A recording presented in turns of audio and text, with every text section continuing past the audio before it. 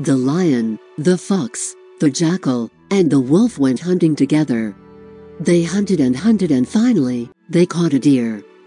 They quickly killed it and then came the question of how to divide the booty. The lion roared from the quarters of the deer. The other animals did as they were told and soon the deer was divided into four equal parts. Then the lion stood before the carcass and pronounced judgment.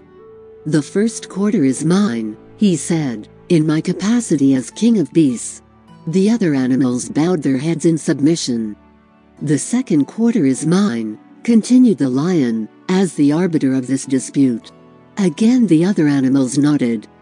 Another part is coming to me for my part in the chase, said the lion. The other animals began to grumble, but they didn't dare say anything. And as for the fourth quarter, the lion said, Well, I'd like to see which of you dare lay your hands on it.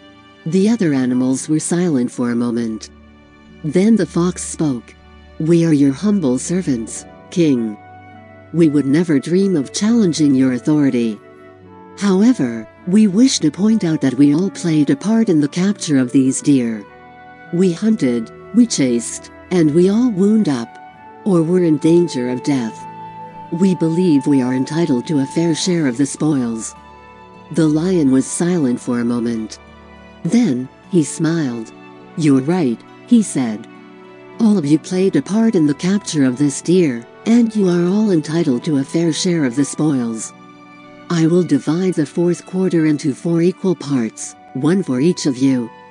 The other animals were grateful, and they all thanked the lion for his fairness.